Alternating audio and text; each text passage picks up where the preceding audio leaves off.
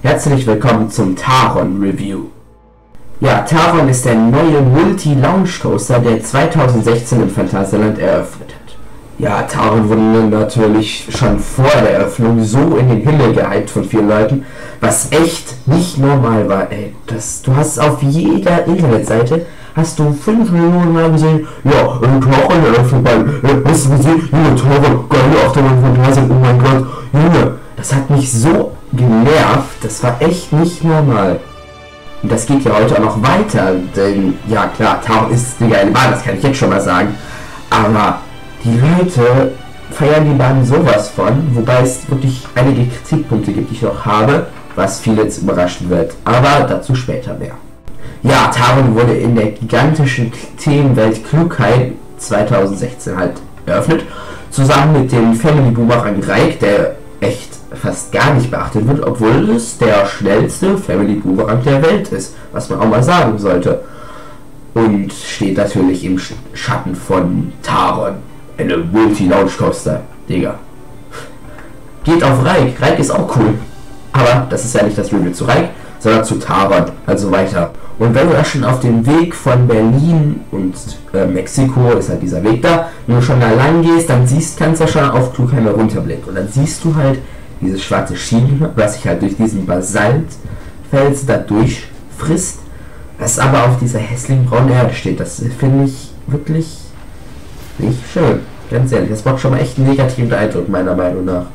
Wenn man aber aus China nach Clucam reinkommt, das sieht wirklich super gut thematisiert aus.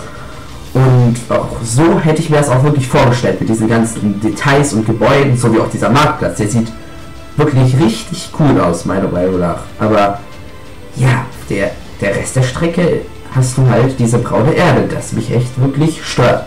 Wobei du halt teilweise halt auch an diesem Dorfplatz vorbeifährst, durch Gebäude durch mit jedem Nebenseffekten.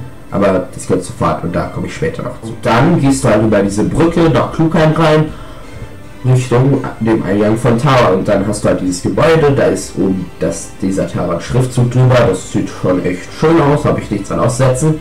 Und dann kommst du halt in den Wartebereich. Und ja, der Wartebereich ist nicht die völlige Katastrophe, aber es gibt wirklich ein paar bessere Wartebereiche. Zum Beispiel der von der Black Mamba, den ich sehr mag. Und auch der von Mystery Castle, den ich über alles abfeiere. Der ist richtig gut genug. Besonders echt hässlich an dem Wartebereich finde ich dann später, wenn du auf diesen großen Platz da kommst und halt diese typische Gatteroptik hast. Und dann ist auch noch dieser hässliche Garten da an der Wand mit den Pflanzen. Der sieht echt wirklich richtig scheiße aus. Ganz ehrlich, der ist potthässlich. Aber Gott sei Dank stehst du da meistens nicht lange, wenn es nicht brechend voll ist. Und irgendwann kommst du dann auch in diese Station, die von außen wirklich schon mal wirklich richtig geil aussieht, super schön thematisiert und von innen auch nur wirklich richtig cool wirkt, wo du halt auch nochmal ein, also später spaltet sich das halt einmal für die erste Reihe, wo du halt noch dementsprechend länger anstehen musst und für die zweite bis, ich weiß es gar nicht mehr, Reihe. Beschleunigt wird man dann während der Fahrt von zwei LSM-Launches, die ordentlich drücken. Das war also wirklich so der intensivste Lounge, den ich erlebt habe. Ja, kann man so sagen. Viele Leute werden auch sagen, dass die Fahrt äh, nicht gut ist, weil sie nur 30 Meter hoch ist oder weil sie keine Inversion hat. Aber meiner Meinung nach braucht es das bei der Bahn auch gar nicht. Bleibt mit den Inversion. Und 30 Meter reichen völlig aus. Das, ja, ich habe da nichts dran aussetzen. Und da, Zahlen, Daten und Fakten sind nicht alles. Boah beiden Launches sind auch noch durch Soundeffekte untermalt, besonders der zweite. Der klingt so. Oh, ich, ihr merkt schon, ich habe dafür keine Worte mehr. Der hört sich echt pornös an. Boah, da habe ich jedes Mal Gänsehaut. An manchen Stellen hast du sogar wirklich krasse Ejector-Äther, besonders nach dem ersten Top-Hat, nach dem ersten Launch, wo du wirklich ordentlich aus dem Sitz gehoben, nicht Sitz, aus dem Zug gehoben wirst, was wirklich echt krass ist. Hätte ich nicht erwartet. Taron besitzt auch einige S-Kurven. Wenn ihr jetzt nicht weiß, was S-Kurven sind, das kann man sich eigentlich selbst denken. Haben halt, sind halt einfach nur Kurven, die die Form von einem S haben. Also links, rechts oder rechts, links, wie auch immer. Aber bei Taron stehen ganz klar die Nebeneffekte im Vordergrund, denn wie gesagt, fährst du wirklich teilweise so knapp an den ganzen Basaltfelsen vorbei oder auch durch Gebäude, was wirklich, du denkst dir halt wirklich, du knallst dagegen. Das ist wirklich cool, meiner Meinung nach. Auch im Vordergrund stehen bei Taron natürlich die Umschwünge, die wirklich auch echt intensiv sind und teilweise auch wie eine Inversion wirken da. Wie gesagt, es braucht keine Inversion, meiner Meinung nach. Meine persönliche Lieblingsstelle ist der Teil nach dem zweiten Launch. Du hast halt deine Höchstgeschwindigkeit von 117 km/h drauf und fährst so knapp an der Felswand hoch. Da ist halt auch so ein Wasserfall, so Wasser ins Gesicht. Hast dann, dann oben diese S-Kurve, die halt am höchsten Punkt von 30 Meter sind.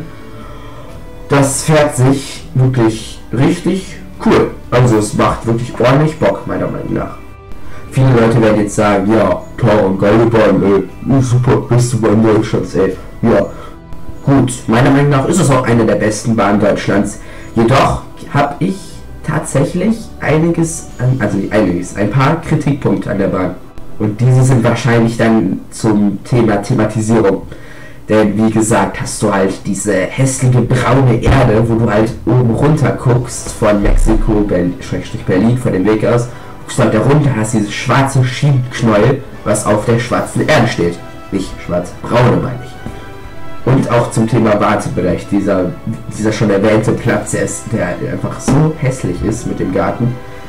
Es ist echt Warum, Phantasialand? Warum tut ihr uns das an? Warum? Was mich auch echt überrascht hat, dass Taron an einer Stelle sogar schlägt. Das ist echt sehr ungewöhnlich bei so einer Meinung. Schreibt mir auf jeden Fall unbedingt mal in die Kommentare, was ihr über Taron denkt. Schaut mal, was es sonst so auf dem Kanal gibt. Ich wünsche euch noch einen schönen Tag. Liked dieses Video, abonniert, ihr es noch nicht getan habt. Bis dann. Ciao.